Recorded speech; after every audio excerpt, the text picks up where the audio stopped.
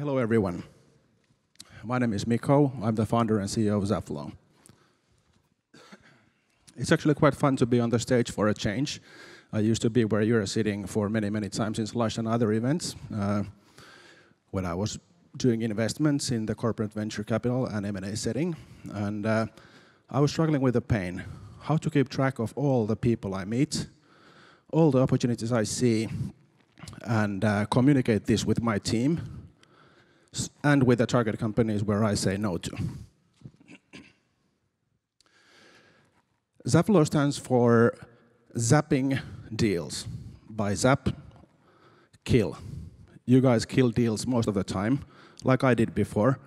And uh, that's uh, one part of the job. But also you want to energize. Zap stands also for energize. So energize your deal flow so that the lifeblood of yours, the deal flow, brings you more opportunities. No, much how, no, no matter how much you have money, you'll always have more opportunities than time or money to invest.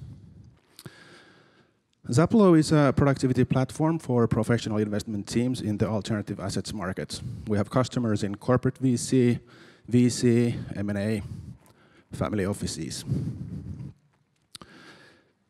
In brief, what we do, uh, we take end-to-end uh, uh,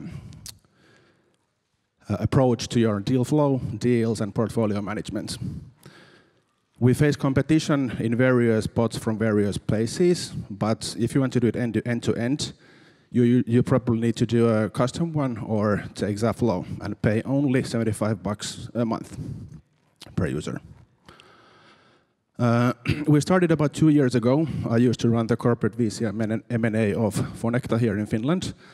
And we now have customers from 14 different countries. Uh, and the assets under management range between less than a million to more than a billion from CVCs, M&A, private equity, and family offices.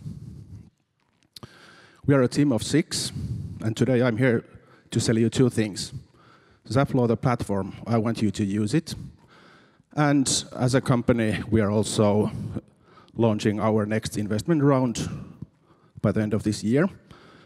And uh, of course, we are a B2B SaaS team of six. Our addressable market is about 200 million. I've been a CFO four times in a startup, so if you want to add the hype factor, you can add a zero if you like for AI or whatever. But this is uh, all a bottom-up approach. Yes, we have competition. Happy to discuss that. And uh, like I said, we're looking for half a billion at this point, but more importantly, I want you as our customers. If you want to have a look at Zapflow, uh, the product in action, go have a look zapflow.com video and drop me an email. Thank you. Thank you.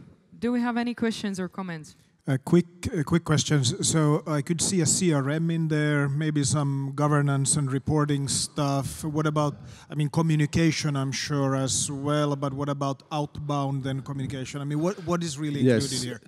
In addition to Zapflow, you are going to need a piece of software for fund, uh, sorry, fund accounting. We don't do that. You are going to need a communication tool, email, phone, Slack, whatever.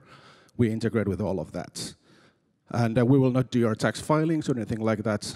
We are more than a CRM. You could call us ERP, even though I hate the word, but still, we, that's what we do. A couple questions for you. Uh, you said that you'll be willing to talk about your competition. So can you please talk about your competition? And the second one, you said that you have already clients in a lot of countries. Can you please tell us about the business model and how much revenue are you doing? Yes. So uh, we are a SaaS company, so our customer pay, customers pay us 75 bucks per user per month on an annual plan. That's it. Of course, we have some additional services like custom reports and analyst services there, but that's a separate thing. And in terms of competition, uh, depending what customer segment or which process segment you are looking at, there are three main categories of competitors. There are or alternatives. There are about 30 different, so 30, and most common ones are Excel, CRM, or then you have a dedicated tool. But the dedicated tools that you see, they usually cost 10 times more, and they are geared towards the higher end of the spectrum. And uh, depending on the use case, there is a we have a very defensible position for all of them, but I'd be happy to discuss, of course, in more detail. And uh, yeah, so 14 different countries last night. We closed our first customer in Mexico, so that makes makes it 14. Okay, thank you. We have to move on. Thank you so much, and uh, welcome the next guys.